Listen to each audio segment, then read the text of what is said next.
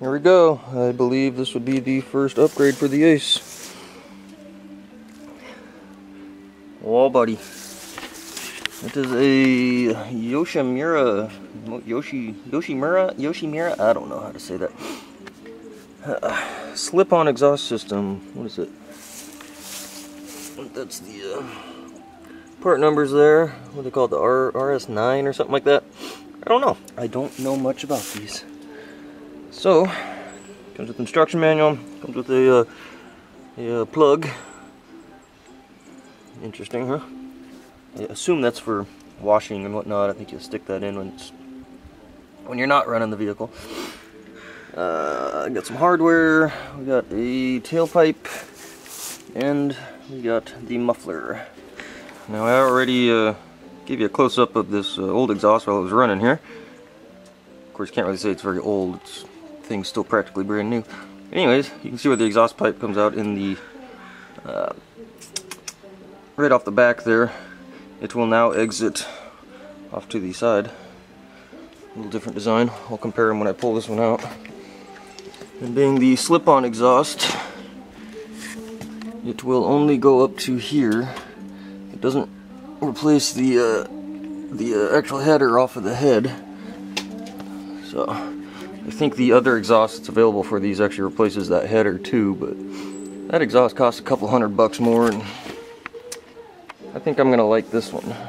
From what I've read, Yoshimura makes some some pretty nice stuff.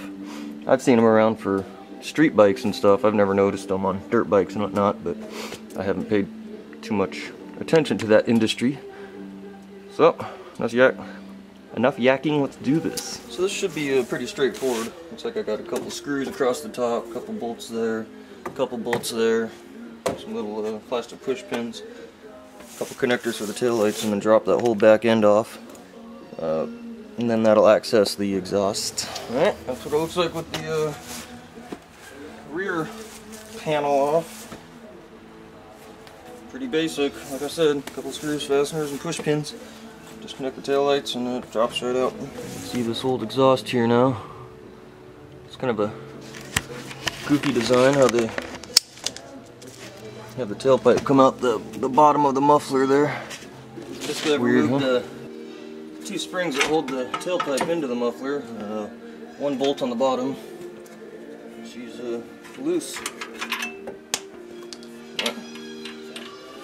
Pretty heavy, actually. Interesting design. Actually looks really restrictive. If you can see in there, there's a plate a few inches back with some weird cutouts in it. Alright, there's the second half. A little bit of a pain in the butt to get to the springs, but should good. Hmm, these actually have little, little seals. Okay. And of course, we can't take the exhaust off without starting it.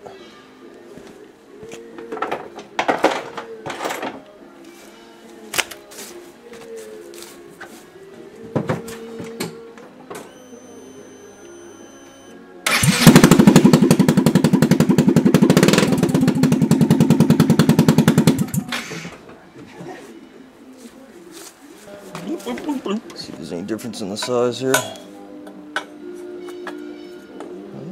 Just a hair bigger. You can see the uh, outside diameter of the old pipe actually almost fits inside the new one.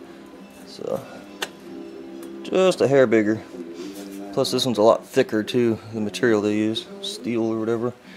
This guy's a thinner stainless.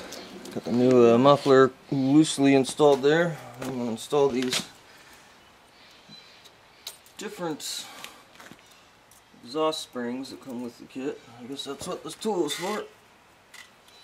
Yeah, those are easy.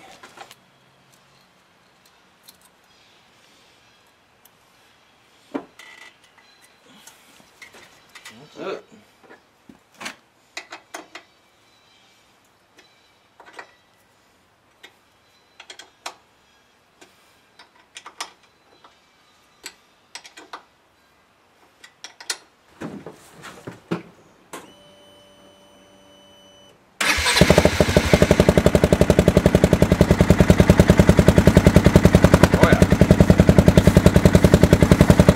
definitely louder.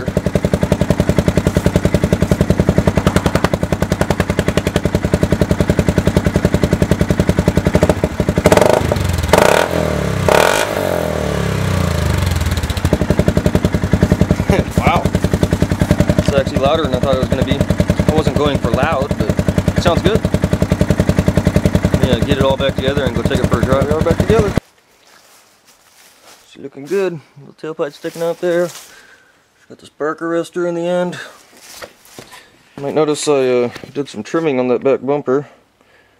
Used to be a, uh, a grill, plastic grill across the muffler there. Well, I decided to cut it out and clean it up so I can uh, show off that pretty muffler. Then I also trimmed the one below it because one side was open for the exhaust, the other side had that plastic grill, so I cut it out too so it matches. Looks pretty good. I like it. Everything's tucked up and back together.